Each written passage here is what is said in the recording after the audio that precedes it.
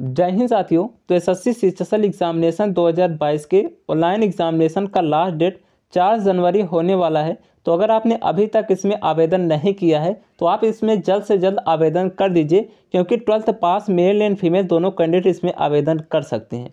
और फ्रेंड्स, इस बार इसकी वैकेंसी हो सकता है कि जस्ट डबल हो जाए। अभी इसकी वैकेंसी दोगुनी होने का नोटिफिकेशन तो जारी नहीं किया गया है, किंतु एक्सपेक्टेड है कि इसकी वैकेंसी अभी बढ़ेगी, क्योंकि टेंटेटिव वैकेंसी जो दिया गया है, वो लगभग पैंतालीस सौ वैकेंसी दी गई है। तो वैकेंसी इससे ज़्यादा होनी है, क्योंकि सीजीएल में लगभग बीस हज़ार से भी ज़्यादा वैकेंसी इस बार आई थी। तो इस बार सेक्शन में भी वैकेंसी बढ़ेगी तो आप लोग आवेदन ज़रूर कर दीजिएगा। केवल ट्वेल्थ पास कैंडिडेट आवेदन कर सकते हैं। किंतु आज के इस वीडियो में हम बात करेंगे, अगर आपने आवेदन कर दिया है तो किस कारण से आपका फॉर्म रिजेक्ट हो सकता है? क्योंकि अभी एस एस में बहुत सारे कैंडिडेट का फॉर्म रिजेक्ट हुआ है तो अगर आपने ये गलती की है तो आपका फॉर्म रिजेक्ट हो सकता है। ये मैं आपको पहले क्यों बता रहा हूँ? क्योंकि अभी आपके पास मौका है, इसका करेक्शन विंडो आएगा तो अगर आपने ये गलती की है तो आप इसे अभी से सुधार सकते हैं, जिससे कि आपका फॉर्म रिजेक्ट ना हो। तो चलिए उसके बारे में बात कर लेते हैं कि इस बार एस एस में किस कारण से फॉर्म रिजेक्ट किए गए थे। और यहाँ पर हम बात करने वाले हैं कि आप अपना एप्लीकेशन स्टेटस कैसे चेक कर सकते हैं कि आपका फॉर्म उनके पास सक्सेसफुली एक्सेप्ट हुआ है या फिर नहीं।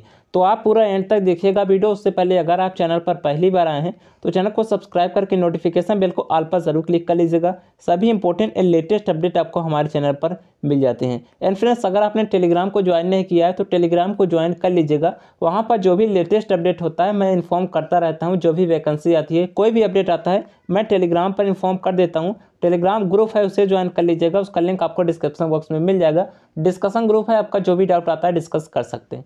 तो चलिए फ्रेंड्स स्टार्ट करते हैं। उससे पहले अगर आप एस एस की तैयारी कर रहे हैं तो चक्सू पब्लिकेशन की बेस्ट बुक आपको मिल जाती है। यहाँ पर जो भी प्रीवियस ईयर में क्वेश्चन पूछे गए हैं, उन सभी का कलेक्शन इस बुक में आपको मिल जाएगा। तो इसे आप बाय कर लीजिएगा, क्योंकि ये आपके तैयारी के लिए बेहतर होने वाला है, आपकी तैयारी को बूस्ट करेगा। क्योंकि आपको पता होगा कि प्रीवियस ईयर में जो भी क्वेश्चन आते हैं, वही एस बार बार रिपीट करता है। तो इसमें सभी previous year question and new question को ऐड किया गया है। जो भी एस का भी लेटेस्ट एग्ज़ाम पैटर्न जारी किया गया है दो हज़ार तेईस के मॉडल पर तो उसी बेस पर इस बुक को तैयार किया गया है। तो इसे आप बाइक कर लीजिएगा। ऑनलाइन आप बाई कर सकते हैं, उसका लिंक आपको डिस्क्रिप्शन बॉक्स में मिल जाएगा। ऑनलाइन बाई कर सकते हैं या फिर आप अपने नियरेस्ट मार्केट से भी बाई कर सकते हैं। तो चलिए फ्रेंड्स यहाँ पर हम सबसे पहले बात कर लेते हैं कि आपका फॉर्म रिजेक्ट किस कारण से होगा। देखिए फ्रेंड्स सबसे ज़्यादा फॉर्म जो रिजेक्ट किए जाते हैं, वो फोटोग्राफ एंड सिग्नेचर के कारण रिजेक्ट किए जाते हैं।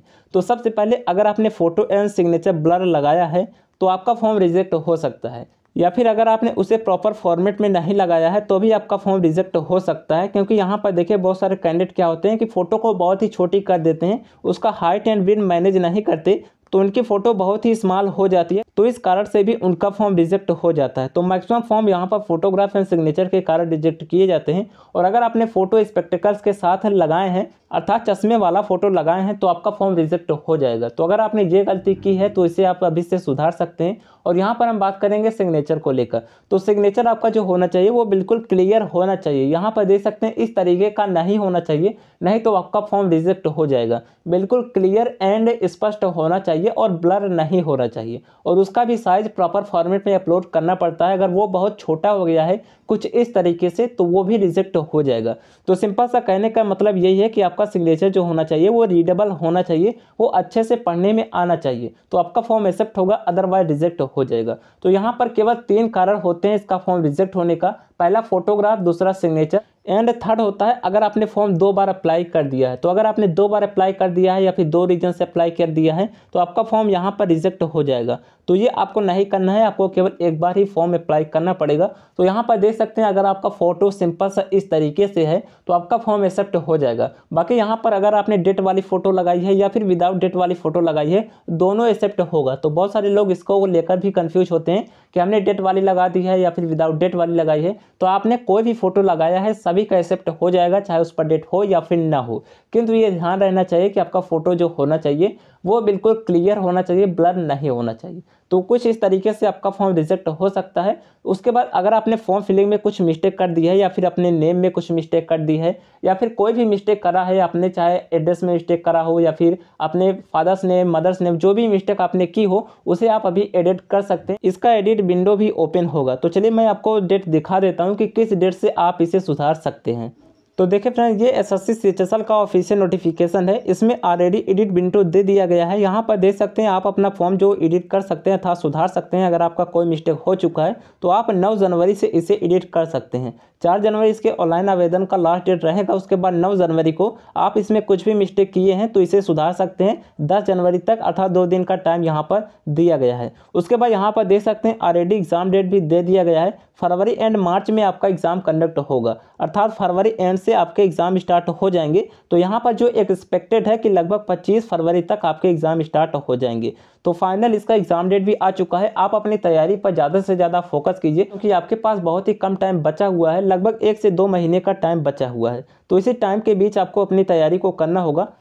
बाकी फ्रेंड्स आपको फॉर्म स्टेटस चेक करने के लिए गूगल पर एस एस लिख के सर्च करना होगा। आप गूगल पर एस एस लिख के सर्च करेंगे तो इसकी ऑफिशियल वेबसाइट आ जाएगी S S dot N I C dot in तो ये इसकी ऑफिशियल वेबसाइट है, इस पर आपको जाना है। यहाँ पर आने के बाद आप इसे डेस्कटॉप साइट भी कर सकते हैं। यहाँ पर देखिए, इस पर क्लिक करके इसे डेस्कटॉप साइट भी कर सकते हैं। अब यहाँ पर आने के बाद आपको लॉगिन करना होगा। यहाँ पर आपको अपना रजिस्ट्रेशन नंबर एंटर करना होगा। उसके बाद यहाँ पर पासवर्ड एंटर करना होगा। जो भी आपका पासवर्ड होगा, आपने एसएससी के फॉर्म फिलिंग के टाइम जो भी बनाया होगा, उसे यहाँ पर एंटर करके इस कैप्चा को फिल करके इसे लॉगिन करेंगे।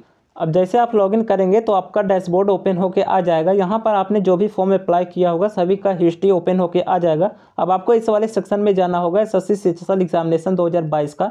यहाँ पर आने के बाद आपको इस एप्लीकेशन स्टेटस वाले ऑप्शन पर क्लिक करना होगा। जैसे इस पर क्लिक करेंगे तो आपका स्टेटस यहाँ पर ओपन होके आ जाएगा। कुछ इस तरीके से आपका शो कर रहा होगा। अब यहाँ पर देखिए फ्रेंड्स बहुत सारे कैंडिडेट इसलिए परेशान है कि कंटेंट नॉट वेरीफाइड दिखा रहा है। तो ये सभी में दिखाता है, इसका मतलब होता है प्रोविजनली एक्सेप्टेड अर्थात आपका फॉर्म उनके पास रिसीव हो चुका है।